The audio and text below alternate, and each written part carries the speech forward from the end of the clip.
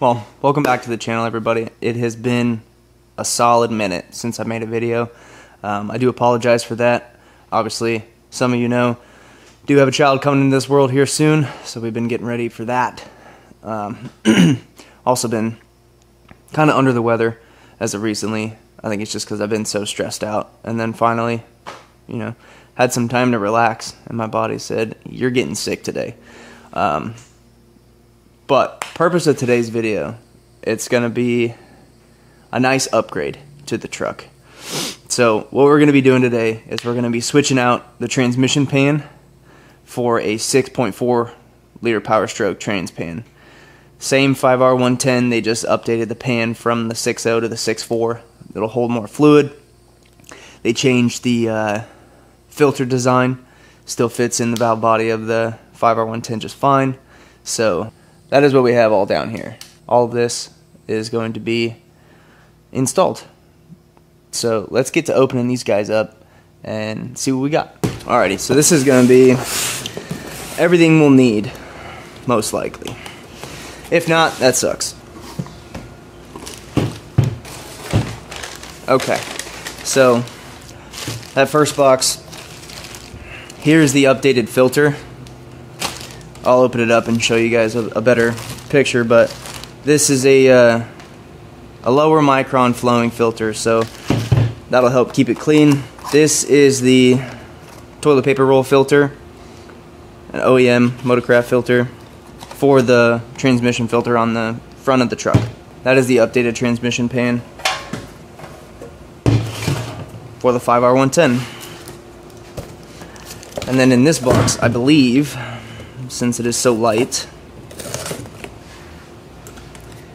that this is going to be our gasket. Ordered a lube locker gasket for the pan. These do fit the E4OD 5R110 um, and a couple other, I believe, because they're all the same pan style. All right, so if yours is equipped with a drain plug, it's usually just a 13 mil, and then uh, pull the plug out. We're gonna drain the fluid, and then we'll take the pan down. All right, so we're training, we're draining out the pan, and we're almost done here. The fluid looks pretty okay. It's a touch dark, but it also does have, let's say, 30 to 35,000 miles on it. So we're letting that drain out, and then we'll pull off all of the bolts, and then we'll pull the pan down. Pull the pan, and we will install the new pan. We'll get this guy cleaned out of any gunk or debris or anything. So we'll just take some some brake clean, clean out the insides, and then uh, pull down the old one and put the new one up, and we'll show the I'll show the differences between the 6.4 pan and the 6 liter pan. Okay, so if anybody has ever been wondering what the inside of a 5R110 transmission looks like, there is what it looks like. This is your filter, obviously, and this is going to be pulled out of the valve body. But here's all your solenoids right above the filter. There's all your solenoids. All in all, the inside looks really clean, looks really good. No metal in the pan, so I think we're in good shape. Okay. So here is the old 6.0 pan, and here's the new 6.4 pan. Exactly the same shape, but this, the 6.4 pan, is just a touch deeper, and it does have a wider filter cavity. So it does hold more fluid, like a quart or two more. But here's the biggest reason to go to this, this setup. This is the 6 liter filter, and this is the 6.4 filter. This has way better filtering properties and a lower micron rating than the 6.0 one. And you could just see the difference on these two here.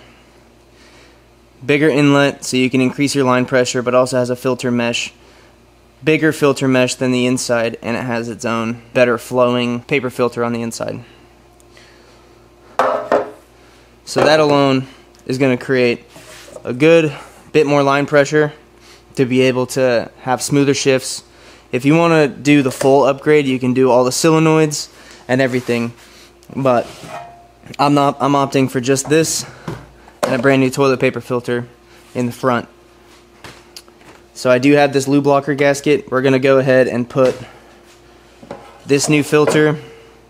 We're going to clean out this pan first, but we're going to put this new filter and that new filter in with a new pan and it's going to be great. One other thing to note is when you take out the old transmission filter, there is going to be this orange, this little orange gasket. There's going to be this little orange gasket on the tip of the filter, still stuck in the filter housing of the trans in the valve body. So make sure you grab a pick and pull that out because if you don't, this is not going to seat and you're going to not have any filtration and you're going to burn up your trans. So let's go ahead, get this new filter installed, get the pan back on, and then we'll do the toilet paper roll up front. If I have one word of advice, it's because I just had to do it. When you take off the old pan and put on the new pan, make sure you transfer the magnet because I forgot and then I had to take the whole pan off after I torqued it and then had to take it all off again, put the new magnet in, and then retorque it back up. But underneath the passenger side of the front bumper, there's this. And this is your transmission inline filter, pretty much. It's your toilet paper filter, is what everybody calls it. It is not supposed to look like that. That is black. So, I do not know when the last time this was changed because when I bought this truck, it had new fluid. And who had the truck before me was one of my buddies who bought it from a dealer, and he never did the trans. So I'm assuming that all they did was pull the drain plug and put new fluid in it, and that's it, just to make it look good. But it is not supposed to look like that. It is supposed to look, obviously, with new fluid, red, but clean like this. So, yeah, be uh, change your fluids, do your maintenance. Maybe that's why I've been having uh, some torque converter issues, and maybe it's too far gone, and maybe this is just going to mess it up with this maintenance, and I'm going to have to get new trains, but we'll see. That's kind of the fun of it, I guess, spending money. But, word of advice be careful when taking this off. If you can avoid it, don't use that um, because some people put this on way too tight. Take your time with this because you do not want to crack the housing, nor do you want to break off the bottom of this and have to get a new one because that sucks. So, what we're going to do is we're going to take this guy and throw him in the trash and put a new filter in there. So, let's go do that. We got the new toilet paper filter in, and per the manual, you fill it up through the dipstick tube, which I have pulled out, and a, fil- and a uh, funnel in there. And fluid of choice is what obviously the manual recommends is the Mercon LV by Motorcraft.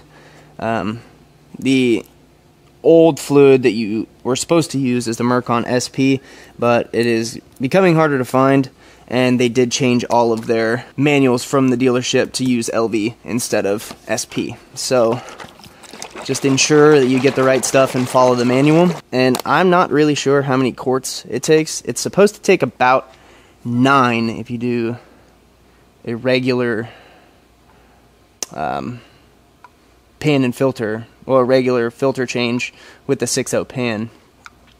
But since I have the 6.4 pan and the 6.4 filter, I do not know how much it's supposed to take now.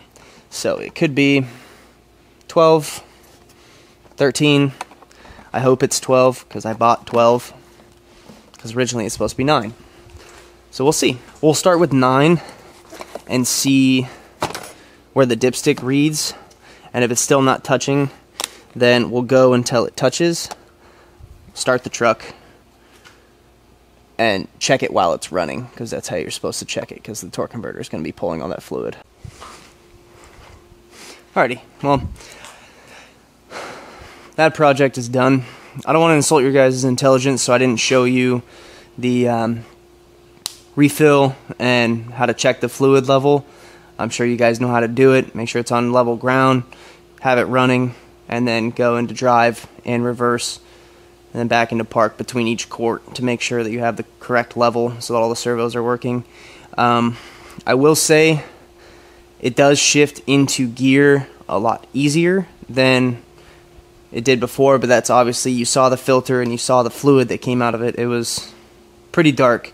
Um, I think I was about 5,000 miles over my uh, 30,000 mile limit, but also I don't know the last time when it, well, last time it was changed was at the dealership before it was bought in my possession from my buddy. And I don't know if they just drained and refilled or if they drained, pulled the pan, cleaned everything, you know, put a new filter, and then put a new toilet paper filter. But by the looks of that toilet paper filter, they did not do that. I guess we'll we'll have to wait and see um, how it works. I am going to go take it on a drive. It is coming along. It's um, obviously it's a long project, and I have a lot of other things to do as well. I'm trying to keep up with videos the best I can. The next thing on this truck is going to be a pretty big one. I do have some rust that I need to fix on a door, and that leads me into the issue of do I keep the flames or not? Because there is a little bit of rust in the flames, and I I do not have enough confidence in my abilities to make it look great. So I'd have to do one single color on the flames here, um, and just make it that that blue that it is. So I'm gonna wrap it up right here. I appreciate all you guys sticking around watching this video. So thank you guys so much, and I'll catch you guys in the next one. See ya.